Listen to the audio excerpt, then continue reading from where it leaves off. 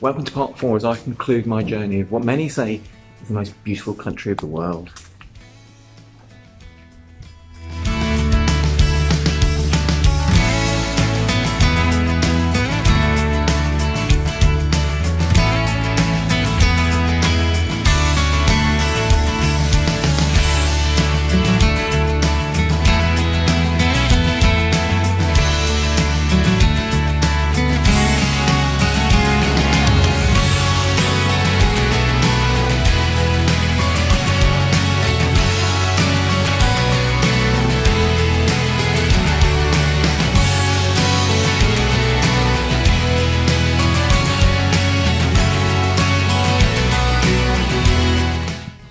This is the little Greek island of Antiparos, an island no one really heard of until Tom Hanks bought his summer home here.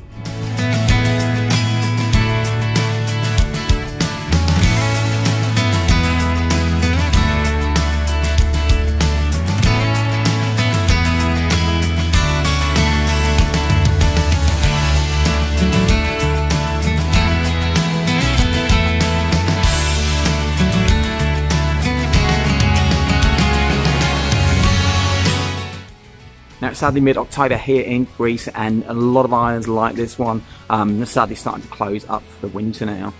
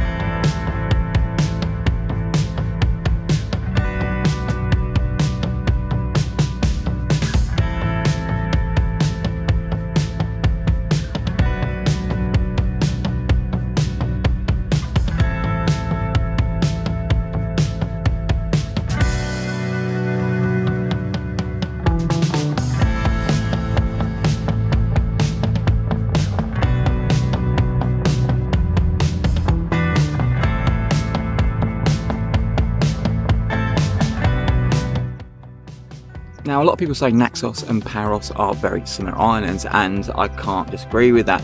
Um, but a lot of people say they prefer Paros over Naxos, but I've got to disagree. I kind of just something about Naxos that was just more cleaner. The, the, buildings a lot more. Um, I found it just um, just more of attractive island.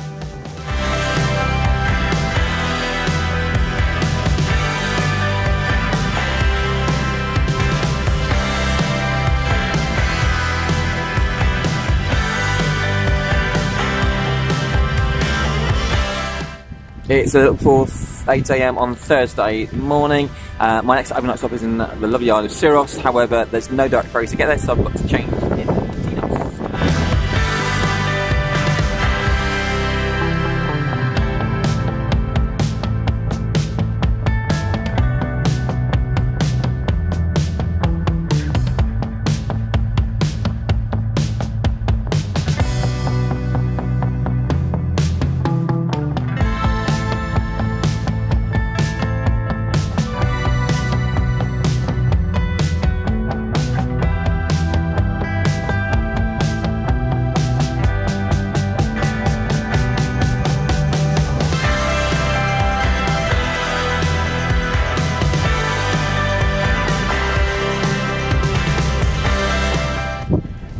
So this is the island of Tinos, where I've now got about four hours to explore into my connecting ferry to my overnight stay in Syros.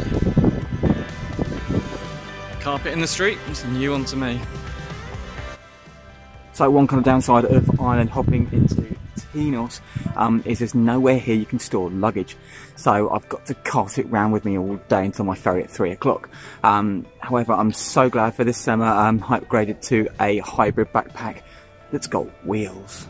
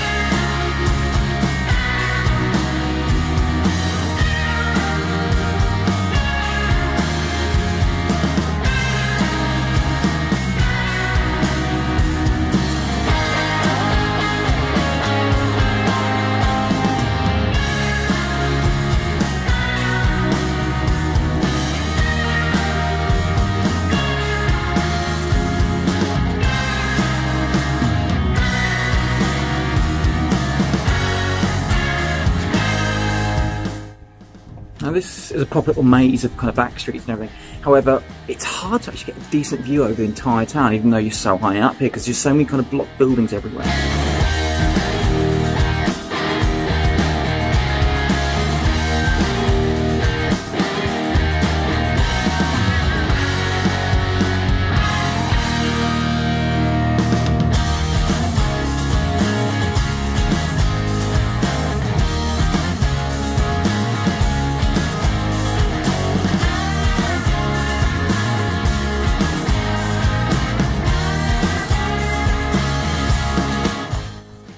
Town is just insane for stairs.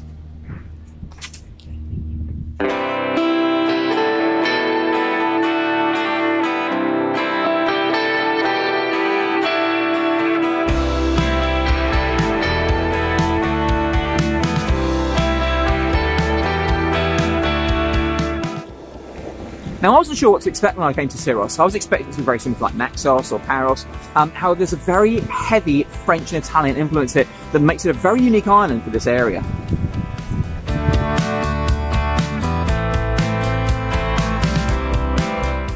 There be thunder and lightning, there be a storm brewing.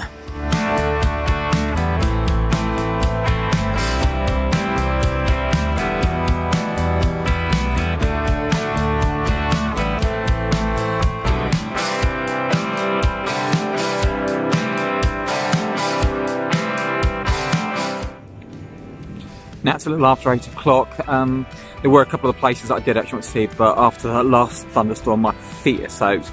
I'm tired, I'm cold, so I'm going back to the hotel.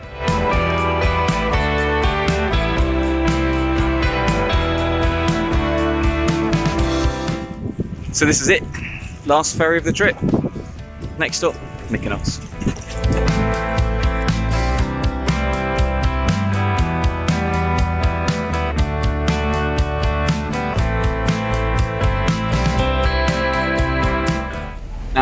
Sure Syros was going to be a good idea for the unpredictability of the weather. Um, however, I'm glad I took the gamble. As you can see, right now it's supposed to be thunderstorms with lightning and it's clear blue sky, even though the sea is a little rough.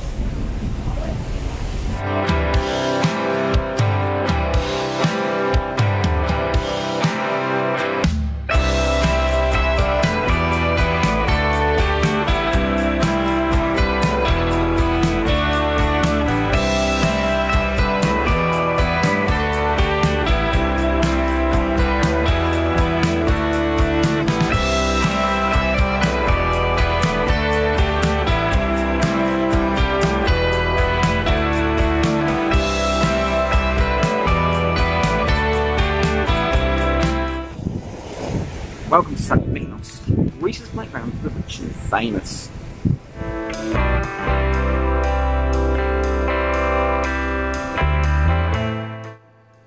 Now, trying to find cheap accommodation right in central Mykonos is not easy, uh, and this place I've checked into tonight is actually the most expensive place I've stayed during my trip here. However, for a mere 45 euros, I've now checked into this wonderful little traditional Greek maisonette.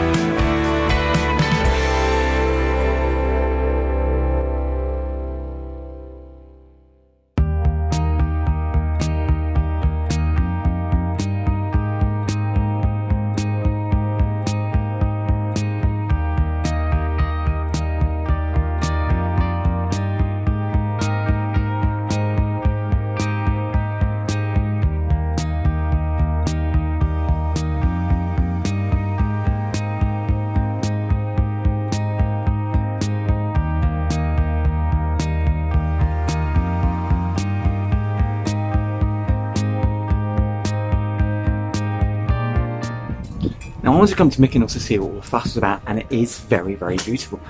It's just a little over commercialised to my liking, though.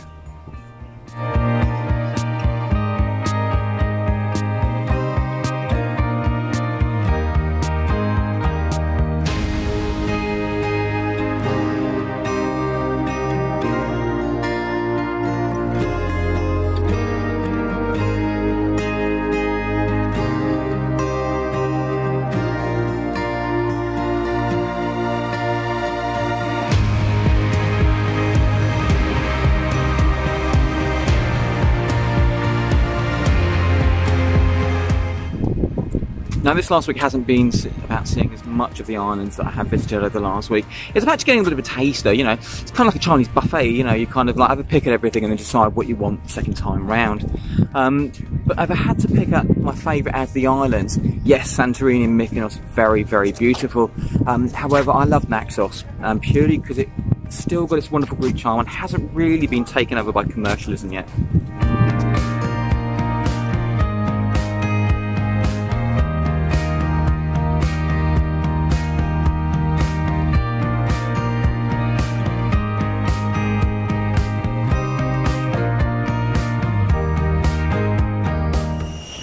That's it.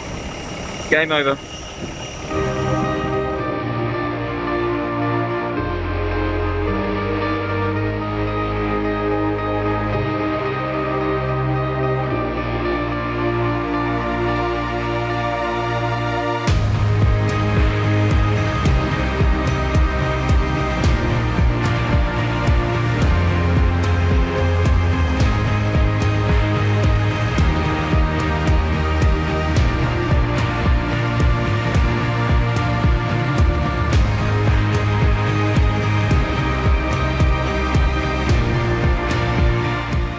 So after three months of Greece, I'm finally back in the sunny UK.